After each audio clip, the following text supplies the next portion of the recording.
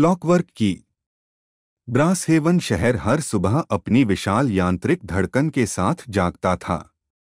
Gear घूमते, भाप निकलती और पिस्टन पत्थरों के नीचे छिपे केंद्रीय इंजन की लय में चलते। आसमान हमेशा तांबे और धुएँ के रंग का रहता। गैस लैंप और टिमटिमाती बिजली की रोशनी से चमकता हुआ। इस शहर का हर पहलू कोर पर निर्भर था। जो गहराई में छिपा हुआ एक रहस्यमयी इंजन था। मेरा गियर लॉक इसी महान मशीन की छाया में बड़ी हुई थी, हालाँकि उसने इसे कभी नहीं देखा।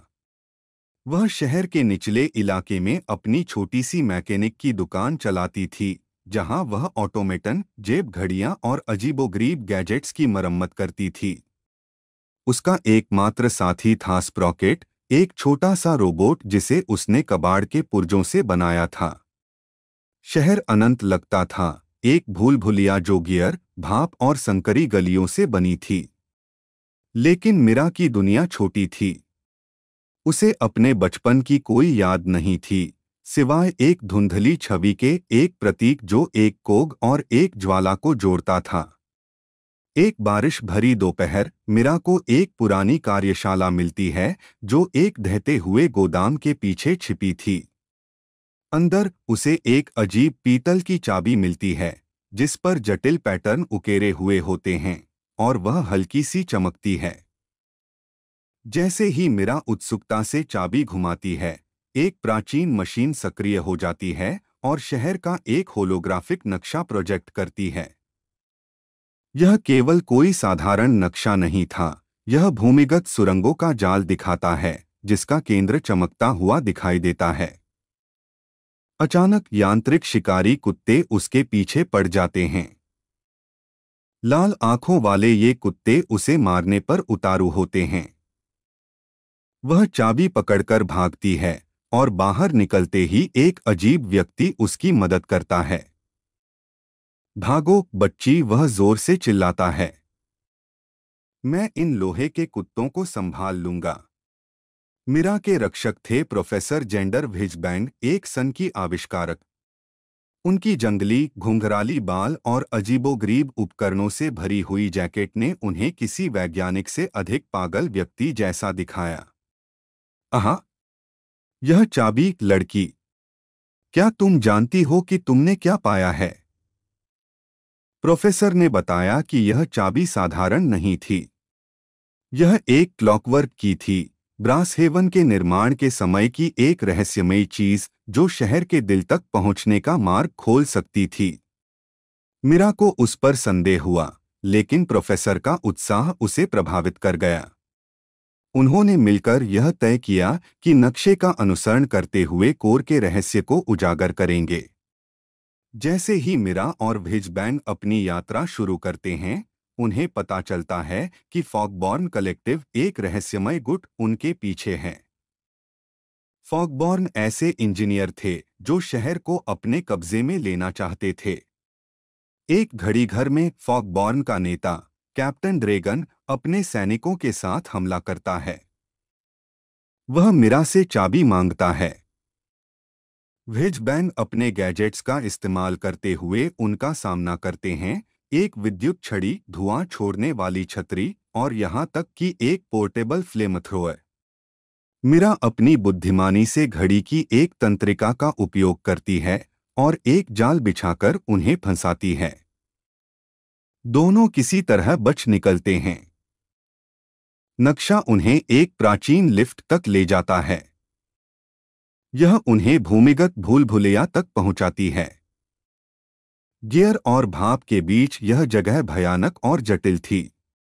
वहाँ उन्हें कई चुनौतियों का सामना करना पड़ता है। यांत्रिक मकड़ियाँ, विशाल, खतरनाक मकड़ियाँ जो तेज धार वाले पैरों से लैस थीं। मीरा चाबी का उपयोग करते हुए उनके नियंत्रण तंत्र को ओवरलोड कर देती है। पहली दरवाजे विजबैन पुराने कोड को डिकोड करके गुप्त दरवाजे खोलते हैं। गिरता हुआ पुल मीरा की तेज़ी और समझदारी उन्हें पिघले हुए धातु की नदी में गिरने से बचाती है। भूल भुलिया में मीरा को अपने बचपन की यादें धीरे धीरे वापस आने लगती हैं। वह याद करती है कि उसके माता पिता ने उसे एक पेंडेंट दिया था, जो फॉकबॉर्न के प्रतीक जैसा दिखता था। भूल भुलिया के केंद्र में वे कोर कक्ष तक पहुँचते हैं। यह एक विशाल गियर और ऊर्जा से भरा हुआ कमरा था। मीरा चाबी को केंद्रीय स्लॉट में डालती है। ड्रैगन और फॉकबॉर्न भी वहाँ पहुँच जाते हैं। ड्रैगन बताता है कि मीरा के माता पिता कोर के निर्माता थे, लेकिन उन्होंने चाबी छिपा दी क्योंकि वे कोर की शक्ति को खतरनाक मानते थे। कोर खराब हो जाता है और पूरा शहर खतरे में पड़ जाता है। ड्रैगन मीरा पर दबाव डालता है कि वह कोर को फिर से प्रोग्राम करे, लेकिन मीरा मना कर देती है। मीरा को एहसास होता है कि कोर को स्थिर करने का एकमात्र तरीका चाबी को नष्ट करना है। यह शहर को बचा लेगा, लेकिन उसकी पुरानी यादों को हमेशा के लिए मिटा देगा। वह चाबी को सक्रिय करती है जिससे एक नियंत्रित विस्फोट होता है। कोर स्थिर हो जाता है, लेकिन चाबी हमेशा के लिए खो जाती है। विज बैंग मिरा को बचाकर ऊपर ले जाते हैं। शहर अब सुरक्षित है। मिरा अपने कार्यशाला में वापस आती है और अपने माता पिता की याद में पेंडेंट लटकाती है। क्लॉकवर्क की ब्रासहेवन शहर हर सुबह अपनी विशाल यांत्रिक धड़कन के साथ जागता था।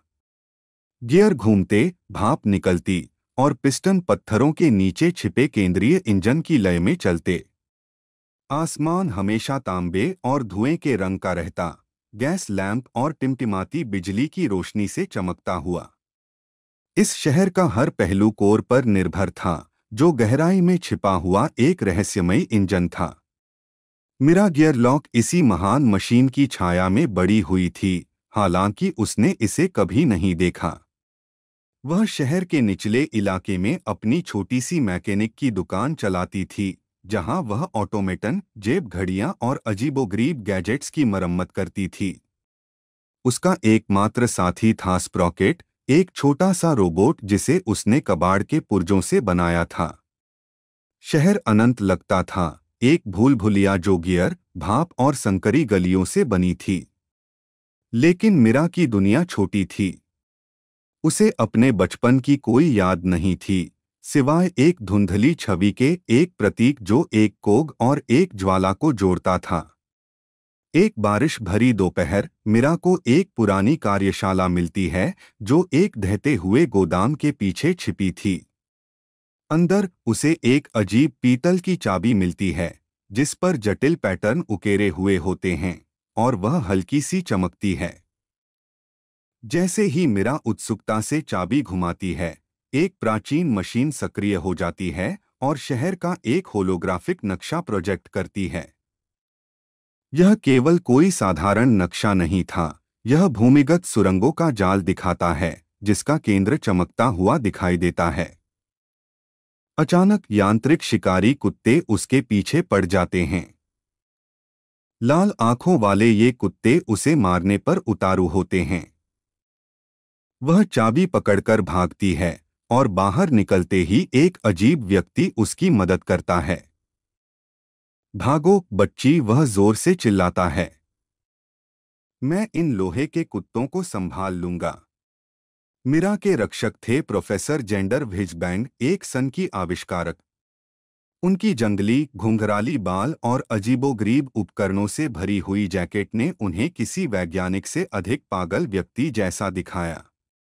आहा यह चाबी लड़की, क्या तुम जानती हो कि तुमने क्या पाया है?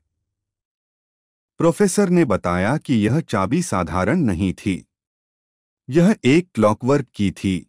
ब्रासहेवन के निर्माण के समय की एक रहस्यमयी चीज़ जो शहर के दिल तक पहुँचने का मार्ग खोल सकती थी। मीरा को उस पर संदेह हुआ, लेकिन प्रोफेसर का उत्साह उसे प्रभावित कर गया। उन्होंने मिलकर यह तय किया कि नक्शे का अनुसरण करते हुए कोर के रहस्य को उजागर करेंगे। जैसे ही मीरा और भिजबैन अपनी यात्रा शुरू करते हैं उन्हें पता चलता है कि फॉकबॉर्न कलेक्टिव एक रहस्यमय गुट उनके पीछे है। फॉकबॉर्न ऐसे इंजीनियर थे जो शहर को अपने कब्जे में लेना चाहते थे। एक घड़ी घर में फॉकबॉर्न का नेता, कैप्टन ड्रेगन, अपने सैनिकों के साथ हमला करता है। वह मिरा से चाबी माँगता है। विजबैंग अपने गैजेट्स का इस्तेमाल करते हुए उनका सामना करते हैं एक विद्युत छड़ी धुआँ छोड़ने वाली छतरी और यहाँ तक कि एक पोर्टेबल फ्लेम थ्रोअर। मीरा अपनी बुद्धिमानी से घड़ी की एक तंत्रिका का उपयोग करती है और एक जाल बिछाकर उन्हें फंसाती है। दोनों किसी तरह बच निकलते हैं। नक्शा उन्हें एक प्राचीन लिफ्ट तक ले जाता है। यह उन्हें भूमिगत भूल भुलैया तक पहुंचाती है। गियर और भाप के बीच यह जगह भयानक और जटिल थी। वहाँ उन्हें कई चुनौतियों का सामना करना पड़ता है। यांत्रिक मकड़ियाँ, विशाल, खतरनाक मकड़ियाँ जो तेज धार वाले पैरों से लैस थीं। मीरा चाबी का उपयोग करते हुए उनके नियंत्रण तंत्र को ओवरलोड कर देती है। पहली दरवाजे विज बैंक पुराने कोड को डिकोड करके गुप्त दरवाजे खोलते हैं। गिरता हुआ पुल मीरा की तेज़ी और समझदारी उन्हें पिघले हुए धातु की नदी में गिरने से बचाती है। भूल भुलिया में मीरा को अपने बचपन की यादें धीरे धीरे वापस आने लगती हैं। वह याद करती है कि उसके माता पिता ने उसे एक पेंडेंट दिया था, जो फॉकबॉर्न के प्रतीक जैसा दिखता था। भूल भुलिया के केंद्र में वे कोर कक्ष तक पहुँचते हैं। यह एक विशाल गियर और ऊर्जा से भरा हुआ कमरा था। मीरा चाबी को केंद्रीय स्लॉट में डालती है। ड्रैगन और फॉकबॉर्न भी वहाँ पहुँच जाते हैं। ड्रैगन बताता है कि मीरा के माता पिता कोर के निर्माता थे, लेकिन उन्होंने चाबी छिपा दी क्योंकि वे कोर की शक्ति को खतरनाक मानते थे। कोर खराब हो जाता है और पूरा शहर खतरे में पड़ जाता है। ड्रैगन मीरा पर दबाव डालता है कि वह कोर को फिर से प्रोग्राम करे, लेकिन मीरा मना कर देती है। मीरा को एहसास होता है कि कोर को स्थिर करने का एकमात्र तरीका चाबी को नष्ट करना है। यह शहर को बचा लेगा, लेकिन उसकी पुरानी यादों को हमेशा के लिए मिटा देगा। वह चाबी को सक्रिय करती है, जिससे एक नियंत्रित विस्फोट होता है। कोर स्थिर हो जाता है लेकिन चाबी हमेशा के लिए खो जाती है। विज बैंग मीरा को बचाकर ऊपर ले जाते हैं। शहर अब सुरक्षित है। मीरा अपने कार्यशाला में वापस आती है और अपने माता पिता की याद में पेंडेंट लटकाती है। विज बैंग मज़ाक में कहते हैं, चलो एक नई चाबी बनाते हैं, शायद इस बार कम धमाकेदार। क्लॉकवर्क की ब्रासहेवन शहर हर सुबह अपनी विशाल यांत्रिक धड़कन के साथ जागता था। गियर घूमते, भाप निकलती और पिस्टन पत्थरों के नीचे छिपे केंद्रीय इंजन की लय में चलते। आसमान हमेशा तांबे और धुएँ के रंग का रहता। गैस लैंप और टिमटिमाती बिजली की रोशनी से चमकता हुआ। इस शहर का हर पहलू कोर पर निर्भर था, जो गहराई में छिपा हुआ एक रहस्यमयी इंजन था। मेरा गियरलॉक इसी महान मशीन की छाया में बड़ी हुई थी, हालाँकि उसने इसे कभी नहीं देखा। वह शहर के निचले इलाके में अपनी छोटी सी मैकेनिक की दुकान चलाती थी, जहाँ वह ऑटोमेटन, जेब घड़ियाँ और अजीबोगरीब गैजेट्स की मरम्मत करती थी। उसका एकमात्र साथी था स्प्रॉकेट, एक छोटा सा रोबोट जिसे उसने कबाड़ के पुर्जों से बनाया था। शहर अनंत लगता था। एक भूल भुलिया जो गियर भाप और संकरी गलियों से बनी थी। लेकिन मीरा की दुनिया छोटी थी। उसे अपने बचपन की कोई याद नहीं थी, सिवाय एक धुंधली छवि के एक प्रतीक जो एक कोग और एक ज्वाला को जोड़ता था। एक बारिश भरी दोपहर मीरा को एक पुरानी कार्यशाला मिलती है, जो एक ढहते हुए गोदाम के पीछे छिपी थी। अंदर उसे एक अजीब पीतल की चाबी मिलती है, जिस पर जटिल पैटर्न उकेरे हुए होते हैं, और वह हल्की सी चमकती है। जैसे ही मीरा उत्सुकता से चाबी घुमाती है, एक प्राचीन मशीन सक्रिय हो जाती है और शहर का एक होलोग्राफिक नक्शा प्रोजेक्ट करती है। यह केवल कोई साधारण नक्शा नहीं था, यह भूमिगत सुरंगों का जाल दिखाता है, जिसका केंद्र चमकता हुआ दिखाई देता है। अचानक यांत्रिक शिकारी कुत्ते उसके पीछे पड़ जाते हैं। लाल आँखों वाले ये कुत्ते उसे मारने पर उतारू होते हैं। वह चाबी पकड़कर भागती है और बाहर निकलते ही एक अजीब व्यक्ति उसकी मदद करता है। भागो, बच्ची, वह ज़ोर से चिल्लाता है। मैं इन लोहे के कुत्तों को संभाल लूँगा। मीरा के रक्षक थे प्रोफेसर जेंडर विजबैंड एक सन की आविष्कारक। उनकी जंगली, घुंघराली बाल और अजीबोगरीब उपकरणों से भरी हुई जैकेट ने उन्हें किसी वैज्ञानिक से अधिक पागल व्यक्ति जैसा दिखाया। आहा यह चाबी लड़की, क्या तुम जानती हो कि तुमने क्या पाया है? प्रोफेसर ने बताया कि यह चाबी साधारण नहीं थी। यह एक क्लॉकवर्क की थी। ब्रासहेवन के निर्माण के समय की एक रहस्यमयी चीज़ जो शहर के दिल तक पहुँचने का मार्ग खोल सकती थी।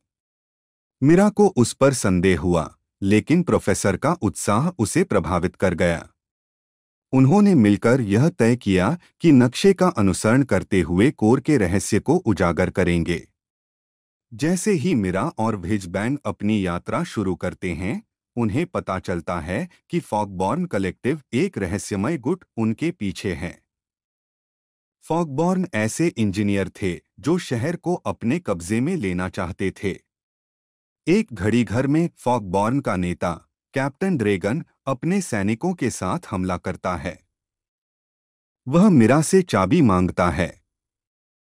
विजबैंग अपने गैजेट्स का इस्तेमाल करते हुए उनका सामना करते हैं एक विद्युत छड़ी धुआँ छोड़ने वाली छतरी और यहाँ तक कि एक पोर्टेबल फ्लेम थ्रोअर। मीरा अपनी बुद्धिमानी से घड़ी की एक तंत्रिका का उपयोग करती है और एक जाल बिछाकर उन्हें फंसाती है। दोनों किसी तरह बच निकलते हैं। नक्शा उन्हें एक प्राचीन लिफ्ट तक ले जाता है। यह उन्हें भूमिगत भूल भुलैया तक पहुंचाती है। गियर और भाप के बीच यह जगह भयानक और जटिल थी। वहाँ उन्हें कई चुनौतियों का सामना करना पड़ता है। यांत्रिक मकड़ियाँ, विशाल, खतरनाक मकड़ियाँ जो तेज धार वाले पैरों से लैस थीं। मीरा चाबी का उपयोग करते हुए उनके नियंत्रण तंत्र को ओवरलोड कर देती है। पहली दरवाजे विज बैंक पुराने कोड को डिकोड करके गुप्त दरवाजे खोलते हैं।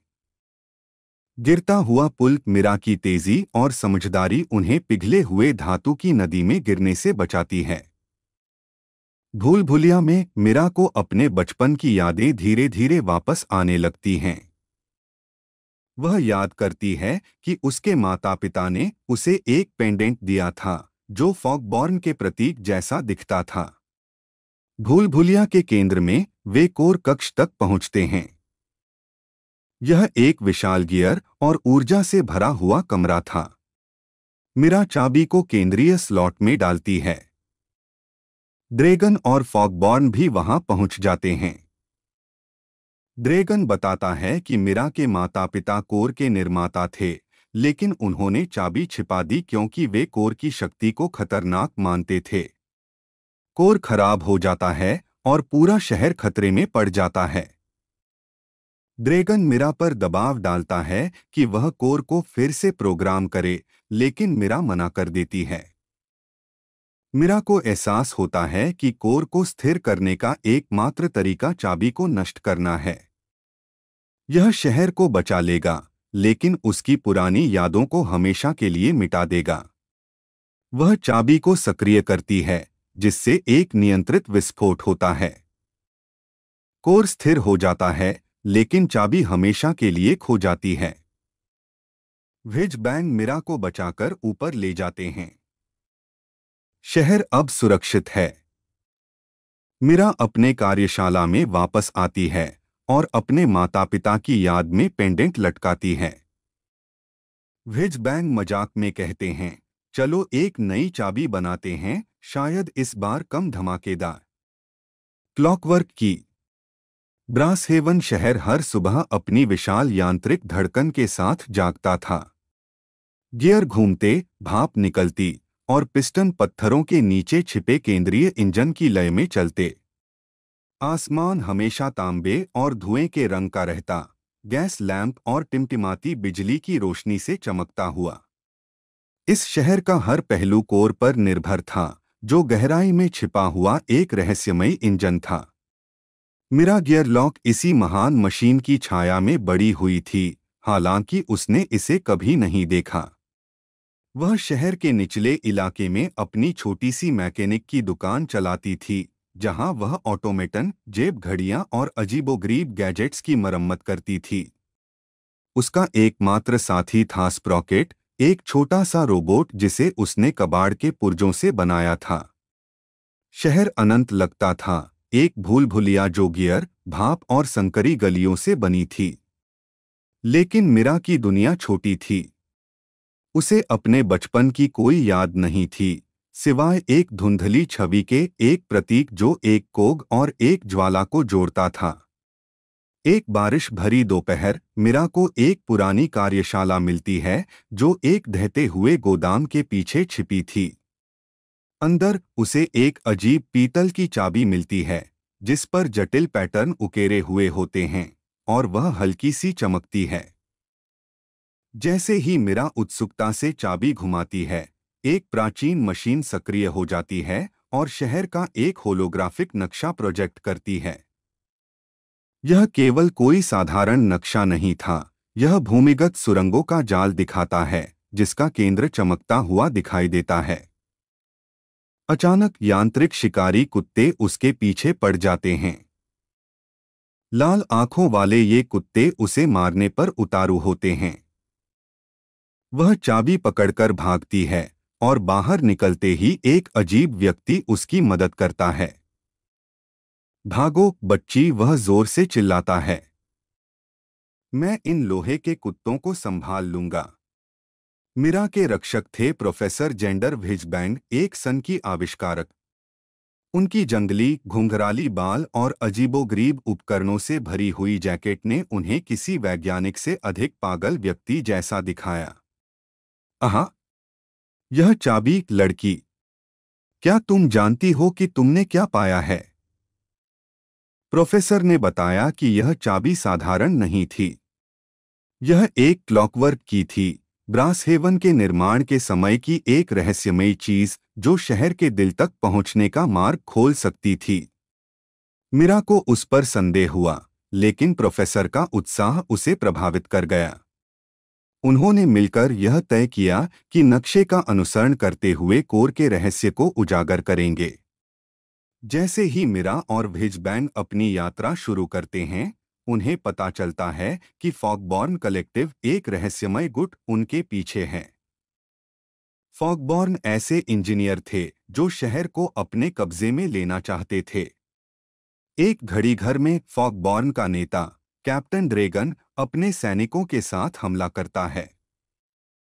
वह मीरा से चाबी माँगता है। विजबैन अपने गैजेट्स का इस्तेमाल करते हुए उनका सामना करते हैं एक विद्युत छड़ी धुआँ छोड़ने वाली छतरी और यहाँ तक कि एक portable flame thrower.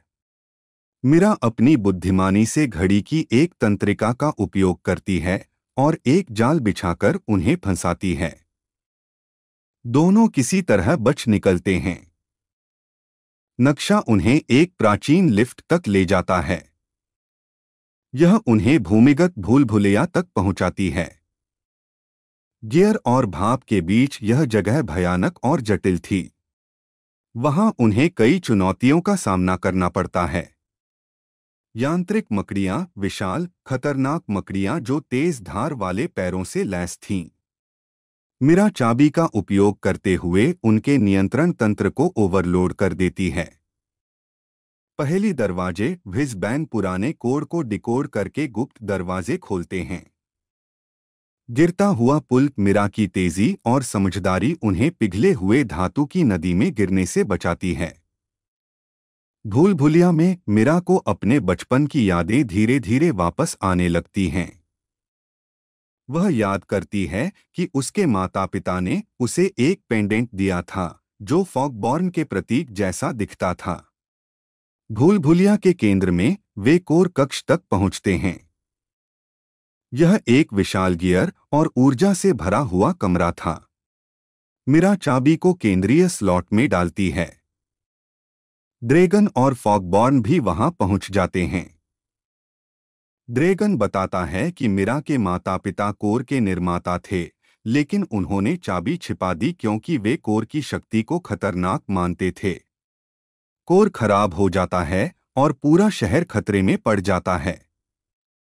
Dragon Meera पर दबाव डालता है कि वह कोर को फिर से प्रोग्राम करे, लेकिन मीरा मना कर देती है।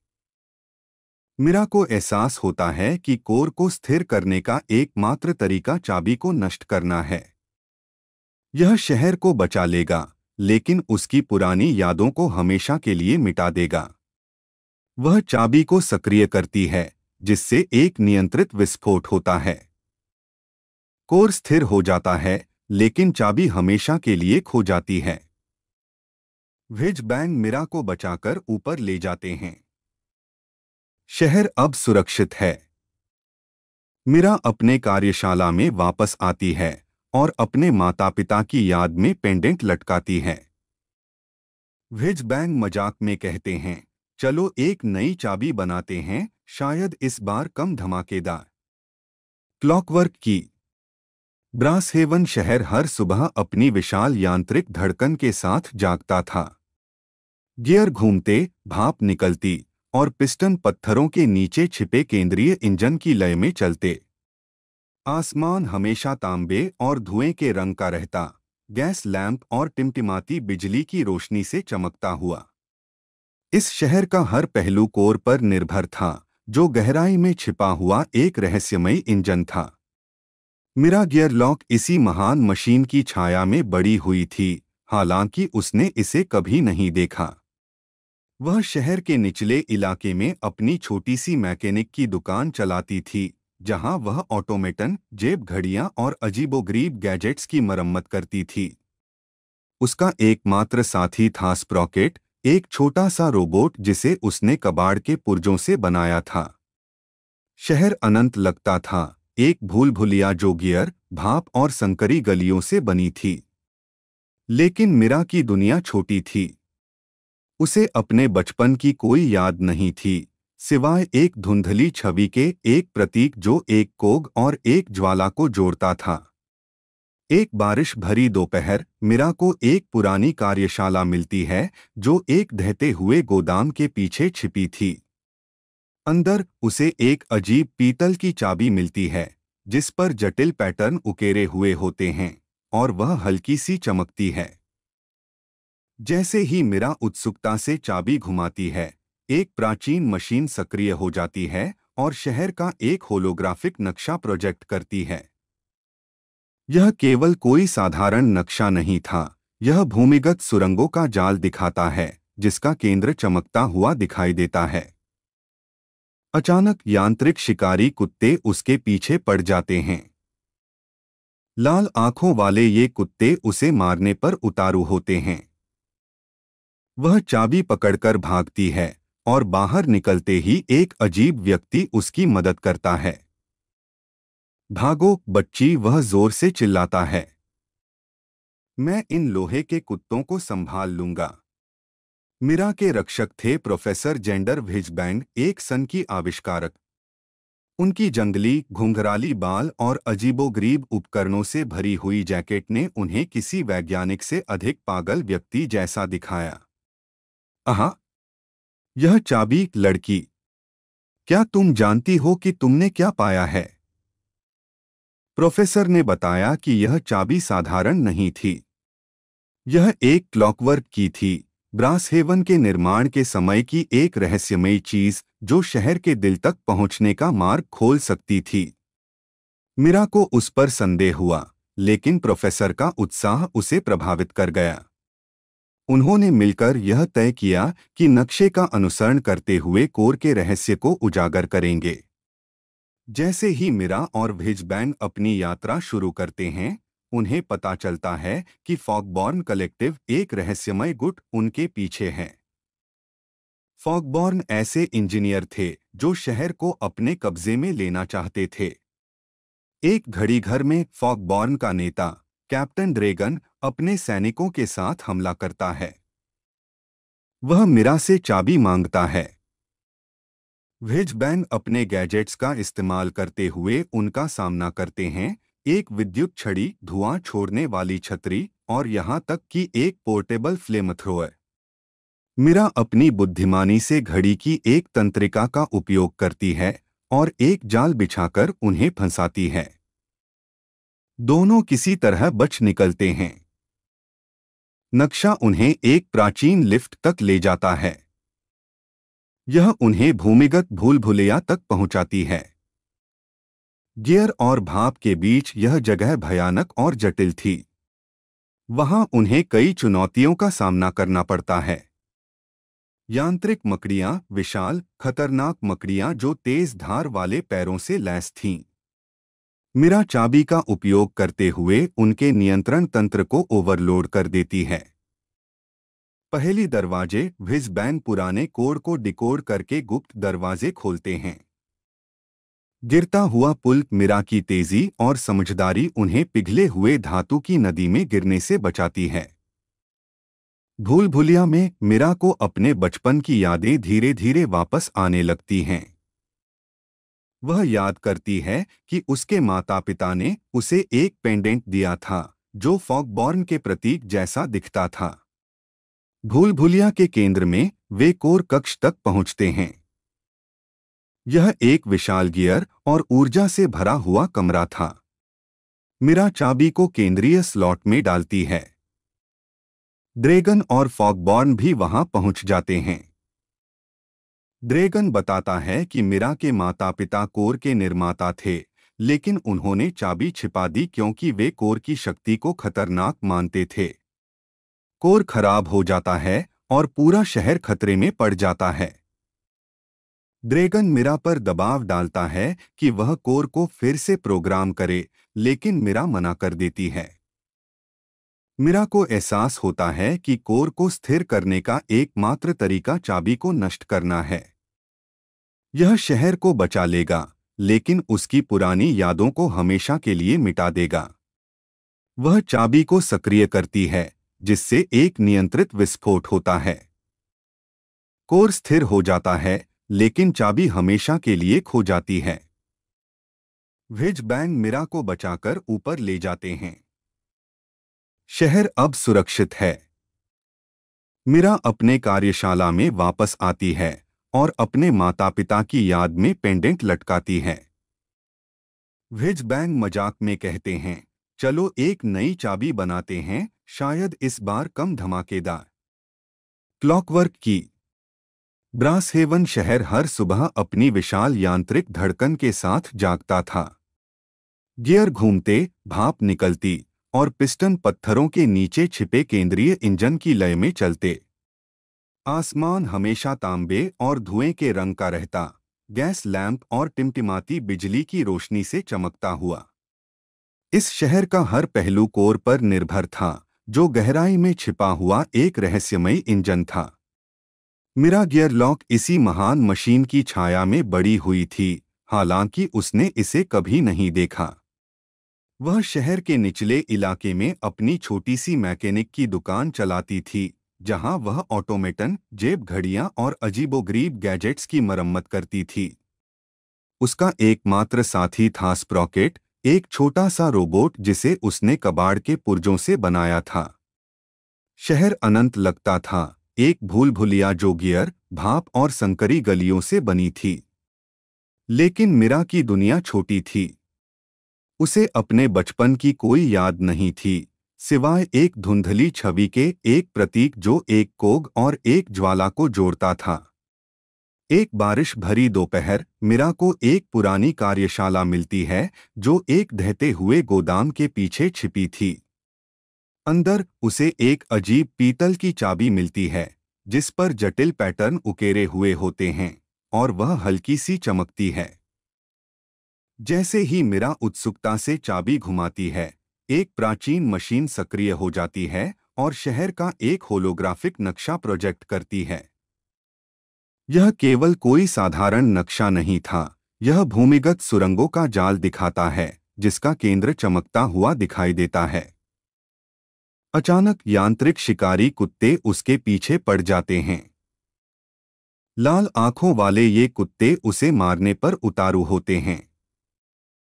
वह चाबी पकड़कर भागती है और बाहर निकलते ही एक अजीब व्यक्ति उसकी मदद करता है।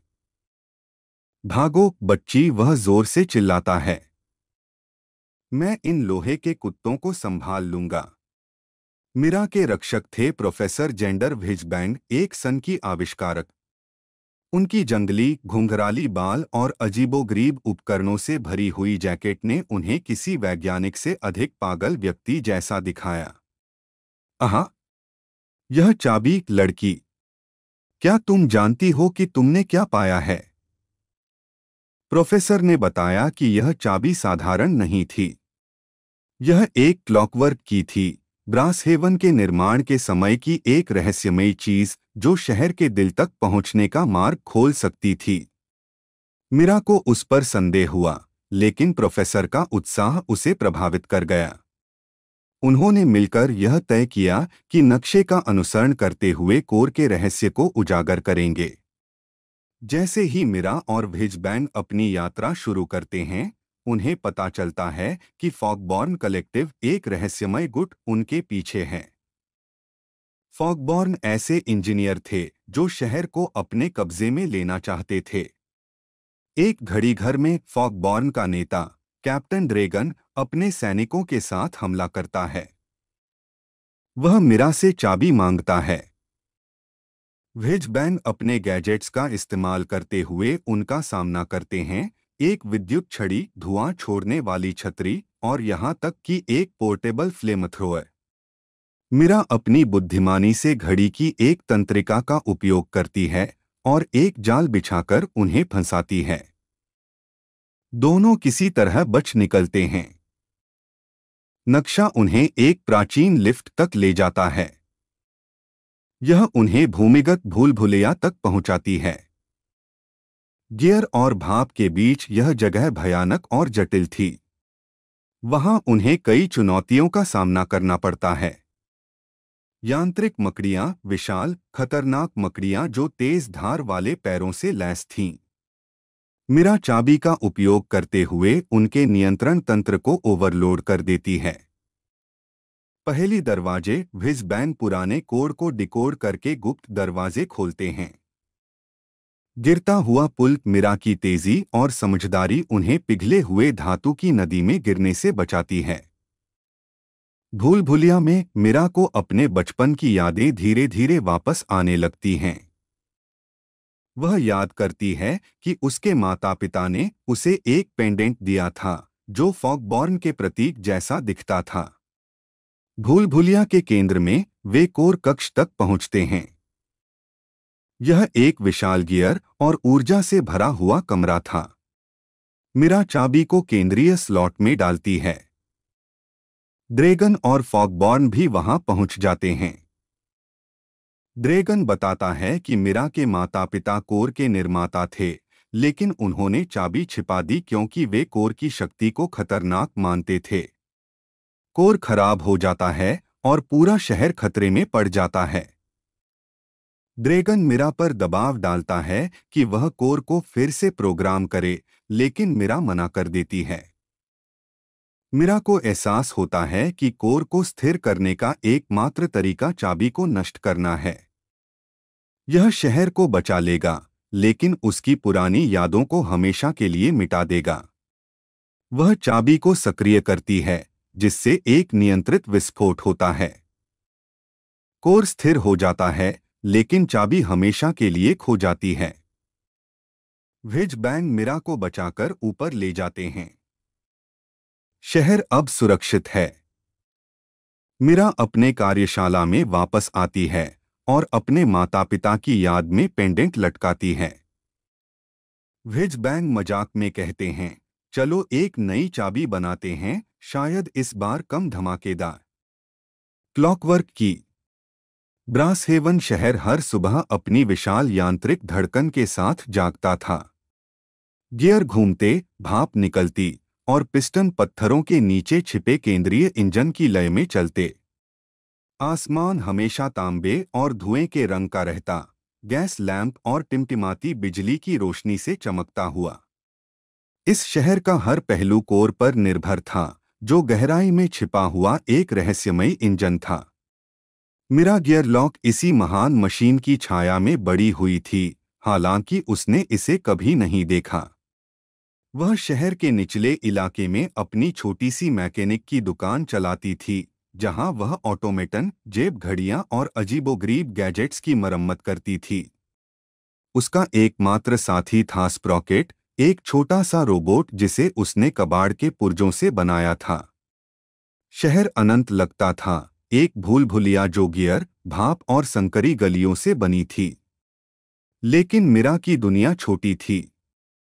उसे अपने बचपन की कोई याद नहीं थी, सिवाय एक धुंधली छवि के एक प्रतीक जो एक कोग और एक ज्वाला को जोड़ता था। एक बारिश भरी दोपहर मीरा को एक पुरानी कार्यशाला मिलती है, जो एक ढहते हुए गोदाम के पीछे छिपी थी। अंदर उसे एक अजीब पीतल की चाबी मिलती है, जिस पर जटिल पैटर्न उकेरे हुए होते हैं, और वह हल्की सी चमकती है। जैसे ही मीरा उत्सुकता से चाबी घुमाती है, एक प्राचीन मशीन सक्रिय हो जाती है, और शहर का एक होलोग्राफिक नक्शा प्रोजेक्ट अलादीन और जादुई यंत्र, नई दुनिया का रहस्य। बहुत समय पहले की बात है। जब अलादीन ने जादुई चिराग के जिन्न की मदद से अपने राज्य को समृद्ध और खुशहाल बना दिया था। अब अलादीन बड़े हो चुके थे और उन्होंने जिन्न को हमेशा के लिए आज़ाद कर दिया था। उनका राज्य चमचमाते महलों हरे भरे बागों और खुशहाल लोगों से भरा हुआ था। लेकिन उनके अंदर हमेशा एक बात खटकती थी, क्या जादू और रोमांच अब उनकी ज़िंदगी से हमेशा के लिए खत्म हो गया है? एक दिन, अलादीन अपने पुराने चिराग को देखने अपनी गुप्त गुफा में गए। वहाँ उन्हें एक पुराना यंत्र मिला, जो जादुई प्रतीत हो रहा था। यंत्र गोल था, जिसके अंदर घूमते हुए गियर और छोटे छोटे चमकते सितारे दिख रहे थे। उस यंत्र के साथ एक संदेश था, यह यंत्र नई दुनिया का द्वार खोलता है, लेकिन यह द्वार केवल वही खोल सकता है। जिसका दिल निडर और इरादे सच्चे हों। अलादीन को लगा कि यह उनके जीवन में एक नया रोमांच लाएगा। उन्होंने यंत्र उठाया और जैसे ही उन्होंने इसे घुमाया, एक सुनहरी रोशनी चारों तरफ़ फैल गई। सुनहरी रोशनी के साथ अलादीन ने खुद को एक नई, अजीब जगह पर पाया। यह जगह किसी दूसरे ग्रह जैसी लग रही थी। आसमान में चाँद और तारे बहुत पास दिखाई दे रहे थे और ज़मीन पर चमकती हुई रेत थी। अलादीन को समझ नहीं आया कि वह कहाँ है। तभी उनके सामने एक जादुई यांत्रिक जिन्न प्रकट हुआ। यह जिन्न पुराने जिन्न जैसा नहीं था। यह धातु से बना हुआ था और उसके चारों तरफ़ छोटे छोटे गियर घूम रहे थे। उसने कहा, अलादीन तुमने मुझे जागृत किया है। यह यंत्र एक प्राचीन दुनिया का रहस्य खोलता है। लेकिन तुम्हें इस दुनिया के तीन खतरनाक परीक्षणों को पार करना होगा। अगर तुम सफल हुए तो तुम्हें नई शक्तियाँ और ज्ञान मिलेगा। अगर असफल हुए तो तुम हमेशा के लिए यहाँ फंस जाओगे। अलादीन ने बिना डरे चुनौती स्वीकार कर ली। पहला परीक्षण था घुमावदार गियरों का पहाड़, जो पूरी तरह से घूमते हुए धातु के गियरों से बना था। जिन्न ने कहा, इस पहाड़ के शीर्ष पर एक बटन है। अगर तुम इसे दबा सको तो तुम अगली चुनौती पर जा सकोगे। लेकिन ध्यान रखना, गियर कभी रुकते नहीं, और अगर तुम गिर गए तो सब खत्म हो जाएगा। अलादीन ने ध्यान से अपने रास्ते की योजना बनाई। उन्होंने अपने अनुभव और बुद्धिमानी का इस्तेमाल किया। पहले, उन्होंने गियरों के घूमने की गति को समझा। फिर, उन्होंने अपने मज़बूत रेशमी कपड़ों का इस्तेमाल किया और रस्सी बनाकर गियरों पर चढ़ने लगे। एक बार फिसलने के बाद भी, उन्होंने हार नहीं मानी और अंततः शीर्ष पर पहुंचकर बटन दबा दिया। जिन्न ने कहा, तुमने अपनी साहस और धैर्य का परिचय दिया। अब दूसरी चुनौती के लिए तैयार हो जाओ। दूसरी चुनौती थी समय का पथ। यह एक भूल भुलैया थी, जिसमें हर रास्ता समय को बदल सकता था। जिन्न ने चेतावनी दी, सही रास्ता चुनो, वरना तुम भूतकाल या भविष्य में हमेशा के लिए खो सकते हो। अलादीन ने देखा कि हर रास्ते के ऊपर एक घड़ी टंगी थी। कुछ घड़ियाँ उल्टा चल रही थी। और कुछ तेज। उन्होंने समझा कि समय की गति ही उनका मार्गदर्शन करेगी। वह उन घड़ियों का अनुसरण करने लगे, जो सही दिशा में चल रही थी। रास्ते में उन्हें अपने अतीत की झलकियाँ दिखीं, जब वह गरीब थे, और उन्हें अपनी माँ की सीख याद आई, सच्चाई और साहस से हर मुश्किल का सामना करो। अंततः उन्होंने सही रास्ता चुना और भूल भुलैया से बाहर निकल आए। जिन्न ने कहा, तुमने समय के खेल को समझ लिया। अब तुम्हें सबसे कठिन चुनौती का सामना करना होगा। अंतिम चुनौती सबसे कठिन थी। अलादीन को एक विशाल कक्ष में ले जाया गया, जहाँ तीन दरवाजे थे। जिन्न ने कहा, इन तीन दरवाजों में से केवल एक सही है। एक दरवाज़ा तुम्हें तुम्हारी मंजिल तक ले जाएगा। दूसरा दरवाज़ा तुम्हें गहरे अंधकार में फंसा देगा। और तीसरा दरवाज़ा तुम्हें लालच और भ्रम की दुनिया में फंसा देगा। दरवाजों के ऊपर तीन संकेत लिखे थे। तुम्हारा सबसे बड़ा सपना। तुम्हारा सबसे बड़ा डर। तुम्हारा सच्चा दिल। अलादीन ने सोचा। पहला दरवाज़ा उसे उसकी इच्छाओं के बारे में बता रहा था। दूसरा दरवाज़ा उसके डर को भुनाने की कोशिश कर रहा था। लेकिन तीसरा दरवाज़ा, यह उसके दिल की सच्चाई को चुनौती दे रहा था। उन्होंने तीसरा दरवाज़ा चुना। दरवाज़ा खुलते ही उन्हें अपने भीतर की ताकत का एहसास हुआ। यह दरवाज़ा न केवल जादुई पत्थर तक ले गया, बल्कि उसे समझाया कि सच्चा जादू निडरता, सच्चाई और आत्मविश्वास में है। अलादीन को एक प्राचीन क्रिस्टल मिला, जो ज्ञान और ऊर्जा का स्रोत था। जिन्न ने कहा, तुमने इन तीन परीक्षणों को पार कर लिया। अब यह क्रिस्टल तुम्हारा है। इसका उपयोग केवल अच्छाई के लिए करना। अलादीन ने वादा किया कि वह इन शक्तियों का उपयोग अपने राज्य और लोगों की भलाई के लिए करेगा। उन्होंने क्रिस्टल को यंत्र में स्थापित किया। जिससे उनकी दुनिया और नई दुनिया के बीच एक पुल बन गया। अलादीन अपनी दुनिया में वापस लौट आए। उन्होंने क्रिस्टल की शक्तियों से अपने राज्य को और भी समृद्ध बना दिया। अब लोग न केवल उन्हें राजा के रूप में जानते थे, बल्कि एक महान साहसी और सच्चे नायक के रूप में भी। उनकी कहानी नई पीढ़ियों के लिए एक प्रेरणा बन गई, यह सिखाने के लिए कि सच्चा जादू बाहरी शक्तियों में अलादीन और जादुई यंत्र, नई दुनिया का रहस्य। बहुत समय पहले की बात है, जब अलादीन ने जादुई चिराग के जिन्न की मदद से अपने राज्य को समृद्ध और खुशहाल बना दिया था। अब अलादीन बड़े हो चुके थे और उन्होंने जिन्न को हमेशा के लिए आज़ाद कर दिया था। उनका राज्य चमचमाते महलों, हरे भरे बागों और खुशहाल लोगों से भरा हुआ था। लेकिन उनके अंदर हमेशा एक बात खटकती थी। क्या जादू और रोमांच अब उनकी ज़िंदगी से हमेशा के लिए खत्म हो गया है? एक दिन, अलादीन अपने पुराने चिराग को देखने अपनी गुप्त गुफा में गए। वहाँ उन्हें एक पुराना यंत्र मिला, जो जादुई प्रतीत हो रहा था। यंत्र गोल था, जिसके अंदर घूमते हुए गियर और छोटे छोटे चमकते सितारे दिख रहे थे। उस यंत्र के साथ एक संदेश था। यह यंत्र नई दुनिया का द्वार खोलता है। लेकिन यह द्वार केवल वही खोल सकता है, जिसका दिल निडर और इरादे सच्चे हों। अलादीन को लगा कि यह उनके जीवन में एक नया रोमांच लाएगा। उन्होंने यंत्र उठाया और जैसे ही उन्होंने इसे घुमाया, एक सुनहरी रोशनी चारों तरफ़ फैल गई। सुनहरी रोशनी के साथ अलादीन ने खुद को एक नई, अजीब जगह पर पाया। यह जगह किसी दूसरे ग्रह जैसी लग रही थी। आसमान में चाँद और तारे बहुत पास दिखाई दे रहे थे और ज़मीन पर चमकती हुई रेत थी। अलादीन को समझ नहीं आया कि वह कहाँ है। तभी उनके सामने एक जादुई यांत्रिक जिन्न प्रकट हुआ। यह जिन्न पुराने जिन्न जैसा नहीं था। यह धातु से बना हुआ था और उसके चारों तरफ़ छोटे छोटे गियर घूम रहे थे।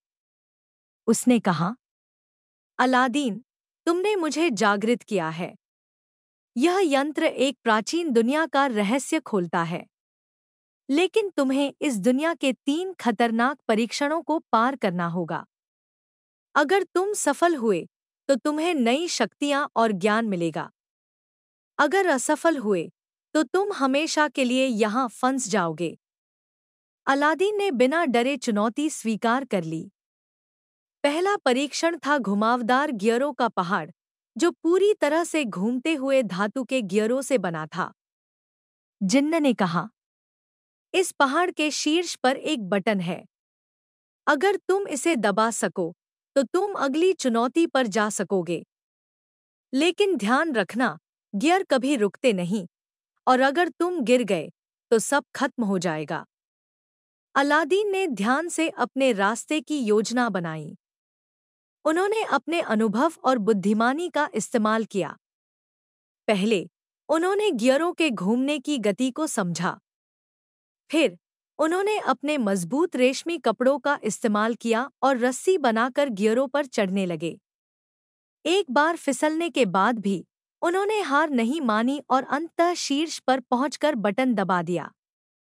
जिन्न ने कहा, तुमने अपनी साहस और धैर्य का परिचय दिया। अब दूसरी चुनौती के लिए तैयार हो जाओ। दूसरी चुनौती थी समय का पथ। यह एक भूल भुलैया थी, जिसमें हर रास्ता समय को बदल सकता था। जिन्न ने चेतावनी दी, सही रास्ता चुनो वरना तुम भूतकाल या भविष्य में हमेशा के लिए खो सकते हो। अलादीन ने देखा कि हर रास्ते के ऊपर एक घड़ी टंगी थी। कुछ घड़ियाँ उल्टा चल रही थी और कुछ तेज। उन्होंने समझा कि समय की गति ही उनका मार्गदर्शन करेगी। वह उन घड़ियों का अनुसरण करने लगे, जो सही दिशा में चल रही थी। रास्ते में उन्हें अपने अतीत की झलकियाँ दिखीं जब वह गरीब थे और उन्हें अपनी माँ की सीख याद आई, सच्चाई और साहस से हर मुश्किल का सामना करो। अंततः उन्होंने सही रास्ता चुना और भूल भुलैया से बाहर निकल आए। जिन्न ने कहा, तुमने समय के खेल को समझ लिया। अब तुम्हें सबसे कठिन चुनौती का सामना करना होगा। अंतिम चुनौती सबसे कठिन थी। अलादीन को एक विशाल कक्ष में ले जाया गया, जहाँ तीन दरवाजे थे। जिन्न ने कहा, इन तीन दरवाजों में से केवल एक सही है। एक दरवाज़ा तुम्हें तुम्हारी मंजिल तक ले जाएगा। दूसरा दरवाज़ा तुम्हें गहरे अंधकार में फंसा देगा। और तीसरा दरवाज़ा तुम्हें लालच और भ्रम की दुनिया में फंसा देगा। दरवाजों के ऊपर तीन संकेत लिखे थे। तुम्हारा सबसे बड़ा सपना। तुम्हारा सबसे बड़ा डर। तुम्हारा सच्चा दिल। अलादीन ने सोचा। पहला दरवाज़ा उसे उसकी इच्छाओं के बारे में बता रहा था। दूसरा दरवाज़ा उसके डर को भुनाने की कोशिश कर रहा था। लेकिन तीसरा दरवाज़ा, यह उसके दिल की सच्चाई को चुनौती दे रहा था।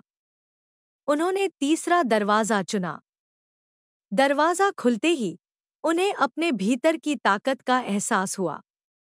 यह दरवाज़ा न केवल जादुई पत्थर तक ले गया, बल्कि उसे समझाया कि सच्चा जादू निडरता, सच्चाई और आत्मविश्वास में है। अलादीन को एक प्राचीन क्रिस्टल मिला, जो ज्ञान और ऊर्जा का स्रोत था। जिन्न ने कहा, तुमने इन तीन परीक्षणों को पार कर लिया। अब यह क्रिस्टल तुम्हारा है। इसका उपयोग केवल अच्छाई के लिए करना। अलादीन ने वादा किया कि वह इन शक्तियों का उपयोग अपने राज्य और लोगों की भलाई के लिए करेगा।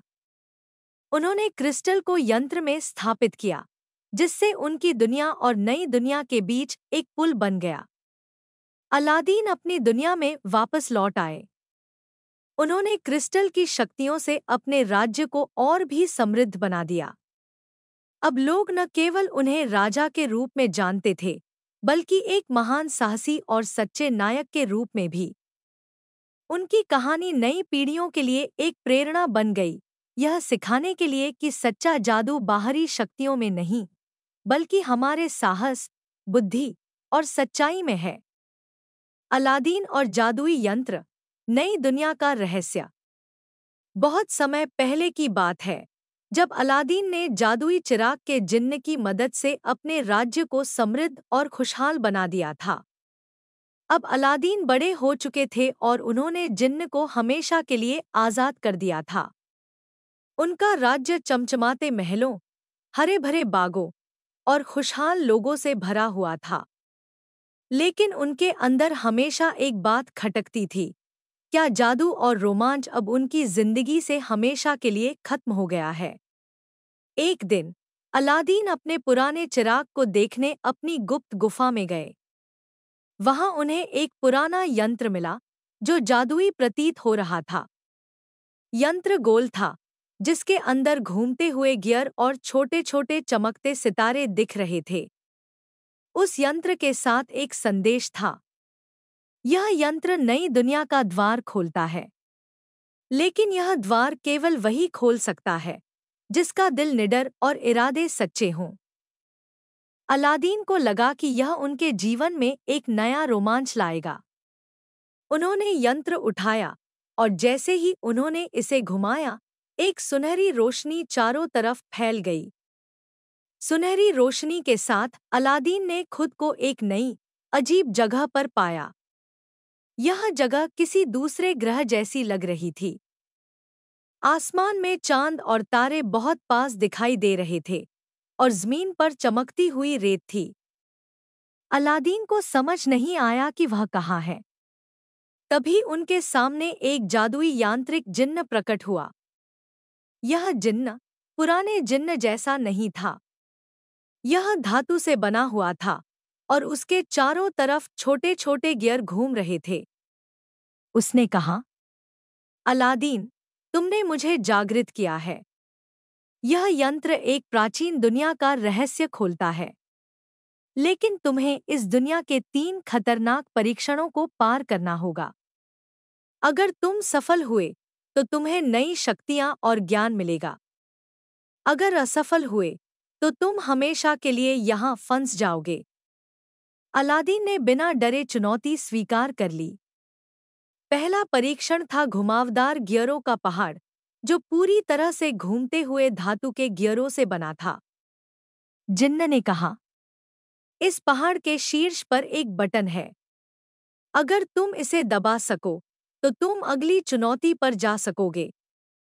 लेकिन ध्यान रखना, गियर कभी रुकते नहीं, और अगर तुम गिर गए तो सब खत्म हो जाएगा। अलादीन ने ध्यान से अपने रास्ते की योजना बनाई। उन्होंने अपने अनुभव और बुद्धिमानी का इस्तेमाल किया। पहले, उन्होंने गियरों के घूमने की गति को समझा।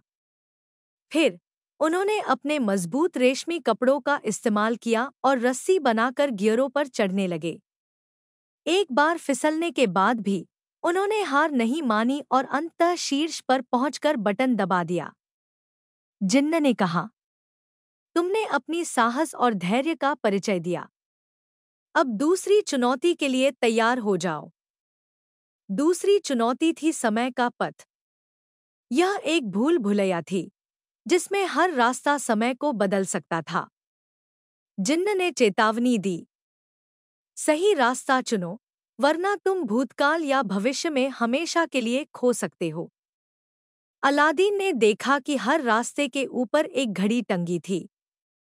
कुछ घड़ियाँ उल्टा चल रही थी और कुछ तेज। उन्होंने समझा कि समय की गति ही उनका मार्गदर्शन करेगी। वह उन घड़ियों का अनुसरण करने लगे जो सही दिशा में चल रही थी। रास्ते में उन्हें अपने अतीत की झलकियाँ दिखीं जब वह गरीब थे और उन्हें अपनी माँ की सीख याद आई। सच्चाई और साहस से हर मुश्किल का सामना करो। अंततः उन्होंने सही रास्ता चुना और भूल भुलैया से बाहर निकल आए। जिन्न ने कहा, तुमने समय के खेल को समझ लिया। अब तुम्हें सबसे कठिन चुनौती का सामना करना होगा। अंतिम चुनौती सबसे कठिन थी। अलादीन को एक विशाल कक्ष में ले जाया गया, जहाँ तीन दरवाजे थे। जिन्न ने कहा, इन तीन दरवाजों में से केवल एक सही है। एक दरवाज़ा तुम्हें, तुम्हारी मंजिल तक ले जाएगा। दूसरा दरवाज़ा तुम्हें गहरे अंधकार में फंसा देगा। और